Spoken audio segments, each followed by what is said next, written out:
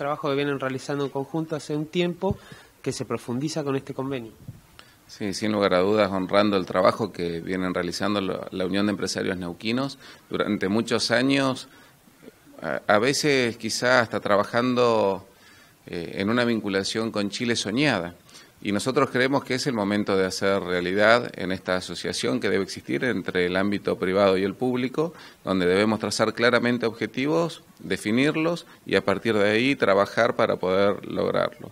Creo que estamos en un momento ideal. Nosotros vemos que, por ejemplo, en el tema del, eh, del ferrocarril trasandino, es el momento en el cual todo el empresariado chileno está interesado y por supuesto el Estado neuquino está interesado en poder lograr esta conectividad con el puerto de Bahía Blanca y además por supuesto con el Pacífico. Creemos que es el motor, uno de los motores que necesita Neuquén además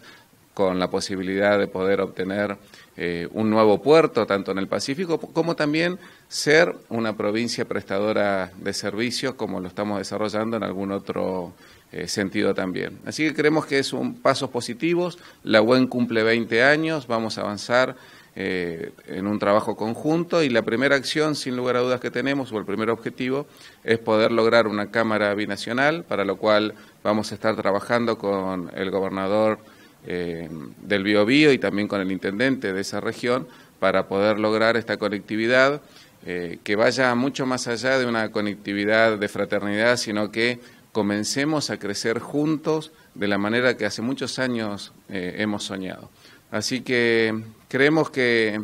son los primeros pasos para cumplir los objetivos que, sin lugar a dudas, reitero, es el momento en el cual debemos avanzar.